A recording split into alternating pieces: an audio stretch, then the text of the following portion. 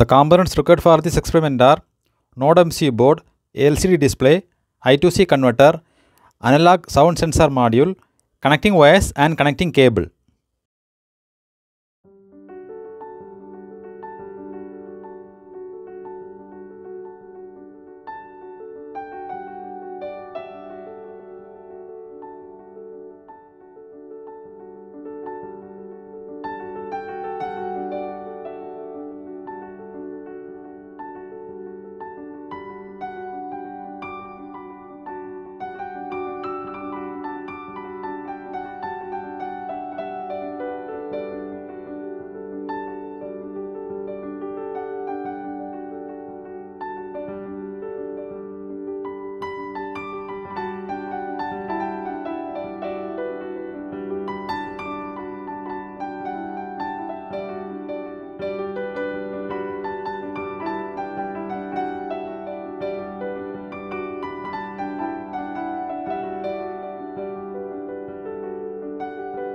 Now log into the Arduino IoT cloud website.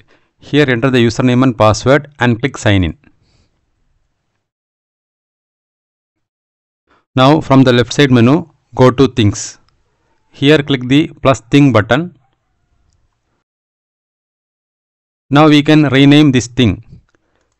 Now give the thing name as noise pollution monitoring and click on the rename button. Now go to this associated device and click select device and then select setup new device and then select third party device. Here we are using ESP8266 board which is selected by default. Now select the model as Node MCU 1.0. Now click on the continue button.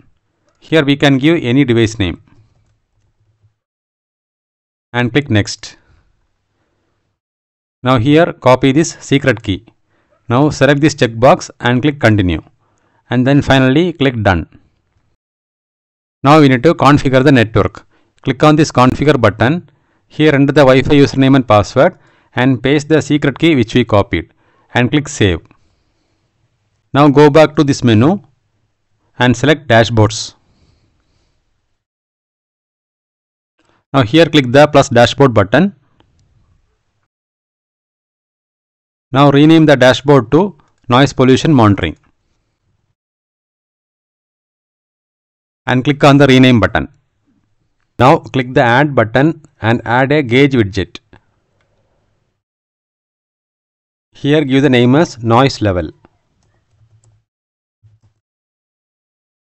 Then click on link variable. Here select the thing noise pollution monitoring and select the variable noise level and click link variable button and give the maximum value as 1000. Now click done. Now again go back to the menu.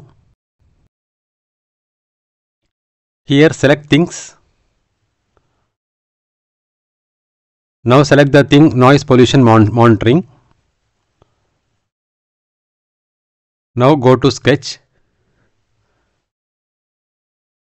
Now here you can see the basic template is generated. Now we need to add the logic.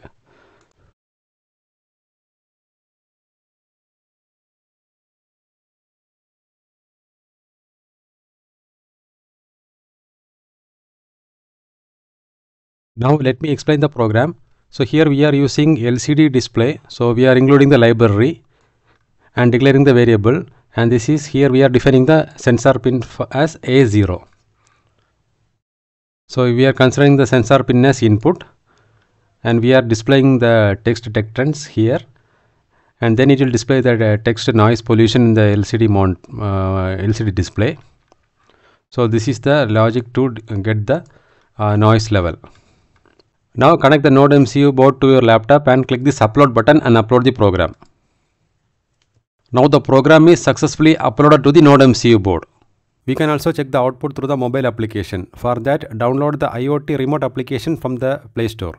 Once you open the application, you can see the dashboard and you can see the dashboard noise pollution monitoring which we created in the uh, Arduino IoT cloud website. Now click on the dashboard and you can see the gauge.